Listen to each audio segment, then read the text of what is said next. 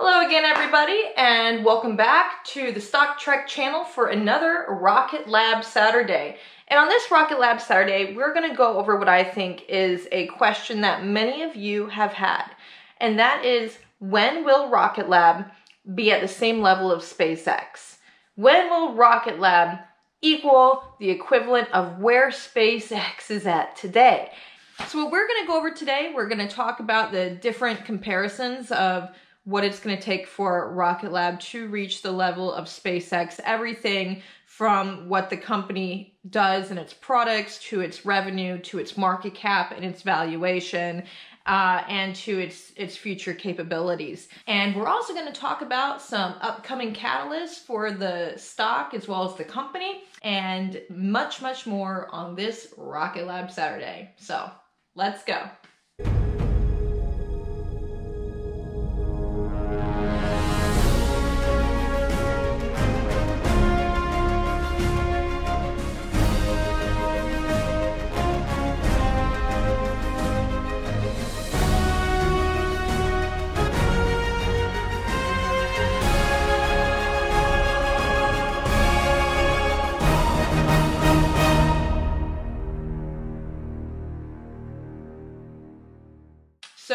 Without further ado, let's go into this Rocket Lab Saturday, which is going to be when will Rocket Lab reach the level that SpaceX is at today?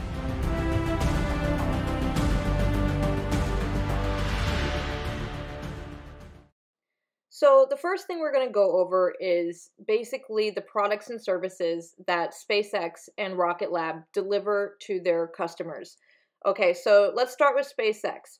SpaceX offers rocket launches, so they're capable of taking customer payloads into space. They also have software as a service with their Starlink uh, satellite internet, global internet connectivity, and Starshield. And Starshield is basically a, a defense uh, software as a service for the governments, and that is based off of the Starlink satellites that they already have up in orbit. Uh, SpaceX is also capable of human spaceflight. They have the Crew Dragon capsule that takes up manned missions and, and cargo to the International Space Station. Now let's take a look at Rocket Lab. So Rocket Lab also does rocket launches just like SpaceX. Rocket Lab will also be human spaceflight capable in the future. They are not currently capable of that at the moment. Uh, Rocket Lab does not have software as a service in a way uh, of a global satellite constellation system. However, Rocket Lab does have software for space systems called Max Flight software. Now, this software is something that is excellent for their customers as it gives complete control over the mission life cycle. So, everything from mission concept development to spacecraft design to integration and testing of the products to operations, this Max Flight software that Rocket Lab offers is a space solution. So, while it's not Starlink, while it's not Starshield, it is a start. So, that is something that Rocket Lab does have. Now that we have an idea of what each company has to offer for products and services, let's go ahead and check out the most fun part Five, the rockets. four, three, two. All right, let's start off with SpaceX and their rockets. Now, SpaceX has several to offer. They have the Falcon 9, the Falcon Heavy, and currently um, kind of tweaking Starship. So, Falcon 9 is considered a heavy lift rocket, okay? Now, Falcon 9 is capable of carrying about 22,800 kilograms of payload, in other words, 50,265 pounds of payload to lower Earth orbit. And that's just lower Earth orbit. Um, so that is pretty heavy, if you ask me, uh, for Falcon 9. But I guess it's just not heavy enough because then SpaceX gets the Falcon Heavy rocket, okay? The Falcon Heavy rocket is uh, basically similar to the Falcon 9, only it takes more. So, uh, this payload that it can carry to lower Earth orbit is 63,800 kilograms or 140,660 pounds. So this is way more than the regular Falcon 9. This is the Falcon 9 Heavy. Now we are moving on to the Starship. Starship is what they would call the class of super heavy. I like to call it in a whole class of its own. And this is capable of carrying 100 to 150 tons as far as payload capacity. And it's fully reusable. So when this, you know, really gets going and they're taking interplanetary trips, this is going to be, well, it's huge. It is huge. All right, now let's compare Rocket Lab. Rocket Lab does not in any way have any heavy lift rockets. So nothing like the, the Falcon 9 or the Falcon 9 Heavy or the Super Heavy, but they do have a small lift vehicle that is the first reusable small launch vehicle, and that is called Electron.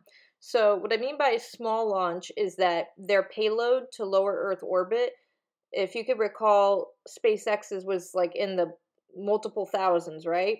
So Rocket Lab's payload to lower Earth orbit, is 300 kilograms, otherwise 661 pounds. So hasn't even quite hit the the thousand pound, right? So it's a small launch vehicle, but it's very successful. So don't let the size fool you. Now, what I do want to talk about is a game changer for Rocket Lab, and that game changer is called Neutron. Now, Neutron is what's going to bring Rocket Lab on its way to competing at the SpaceX level. Now, here's where it gets better for Rocket Lab. Neutron is capable of lifting around 13,000 kilograms to lower Earth orbit.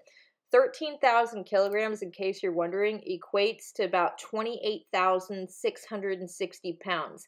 Now we're talking. Now we're competing in the playing field with the likes of SpaceX. Okay, so this is a medium lift rocket. It's not necessarily termed heavy, but it, it's it's medium lift and it can pretty much compete with some of those heavy lifters that are out there. So this is going to be really exciting. Neutron is currently in development. It has not flown yet. It's it's not available yet. They're working on it. But let me tell you what, when this puppy gets released, it's going to be a game changer for the company and it's going to be a huge catalyst that's going to catapult Rocket Lab into becoming amongst the, the, the main players with SpaceX. Now, I'll get into the reason why this Neutron rocket is so important shortly. Okay, in the meantime, let's go ahead and take a look at their revenue next.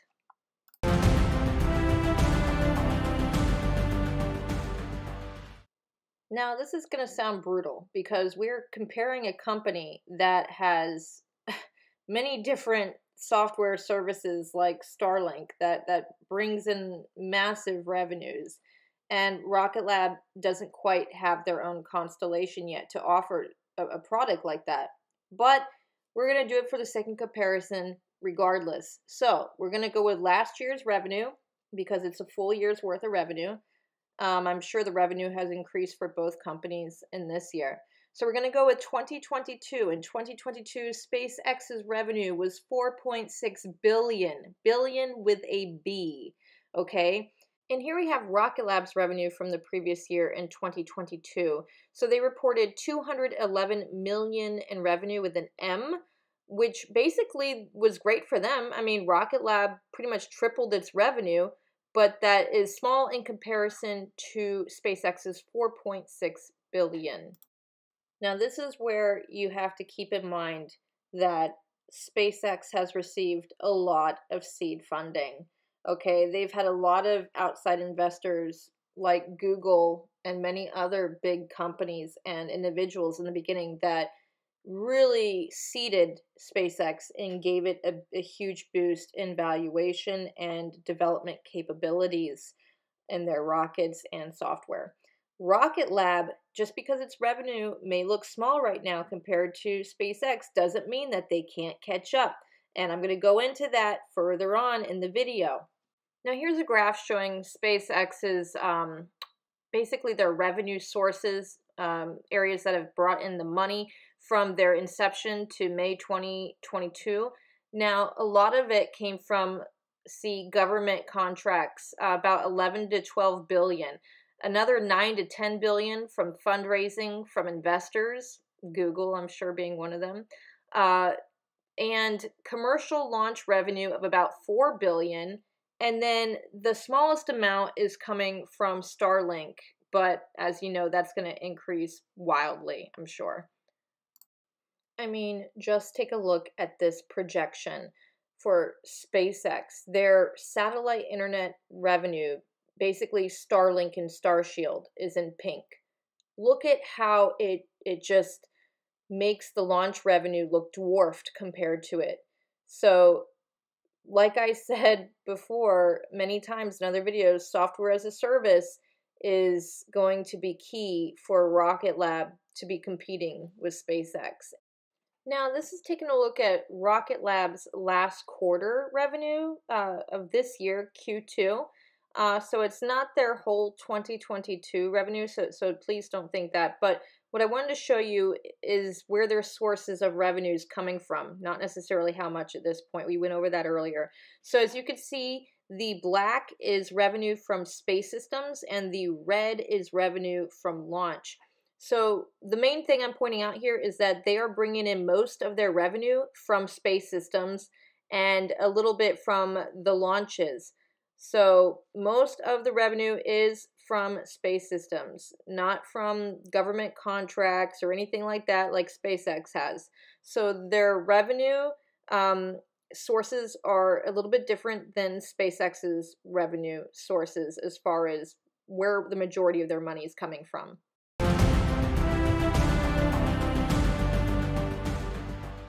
Okay, and getting into the most valuable part, literally, we're going to talk about the valuations of SpaceX and Rocket Lab. SpaceX was recently valued to be around $150 billion for a market cap. 150 billion, again, billion with a B. Now, Rocket Lab's current market cap as of recently is 2.8 billion. But hey, at least we're in the billions with a B. Uh, we are a little bit behind, um, n- nonetheless, but it doesn't mean we can't get to that level that SpaceX is at, at that 150 billion dollar level. And next up, we're going to talk about ways in which Rocket Lab can reach SpaceX's current valuation.